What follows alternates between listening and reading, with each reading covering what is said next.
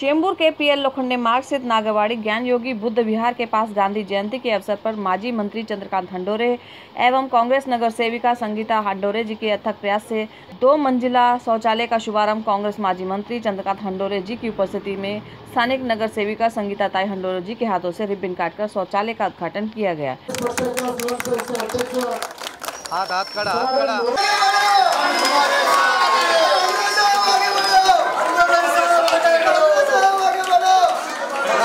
इस शौचालय की एक वजह यह है कि इसमें पुरुषों के 20 एवं महिलाओं के 20 टॉयलेट उपलब्ध कराए गए हैं। इसी प्रकार वहाँ उपस्थित माजी मंत्री चंद्रकांत हंडोरे जी का कहना था कि बहुत साल पहले महीने बनाया था एमएलए फंड से, लेकिन बहुत साल हो गया उसको। वो जुना होने के वजह से वो गिरने की कंडीशन में आया था। तो वो तोड़ के नया बनाने का हम लोगों ने प्लान किया। विभाग अधिकारियों को यहाँ पर बुलाया और आज यहाँ पर वो नया शौचालय का निर्माण हो गया है। आप देखेंगे कि लोगों की कितनी गरज थी। आप कितनी भीड़ देख रहे हैं कि लोगों की ये अत्यंत आवश्यक बात थी। तो उसको हमने सीरियसली लेके उसको नगर सेवक संगीता हंडोरी जी के माध्यम से इसको पूरा करने का काम किया है और आज इसका उद्घाटन हो गया है।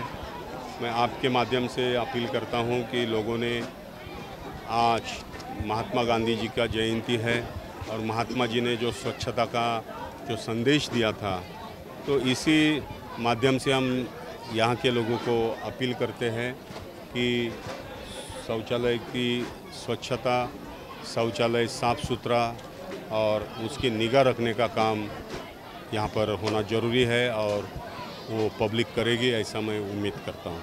नहीं ये महानगर नगर सेविका ने महानगर पालिका में जो प्रयत्न किया था महानगर पालिका ने इसको पूरा फंड दिया और काम हो गया।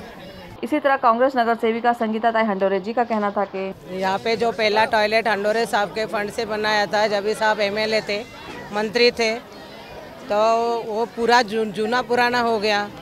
और उसकी वजह से वो टूटने के लिए आया, लेकिन कुछ जीवन हानि ना होने होने से कारण हम लोग ने मेरे फंड से, हंडोरे साहब के प्रयत्न से हम लोग ने ये अच्छा टॉयलेट बनाया है।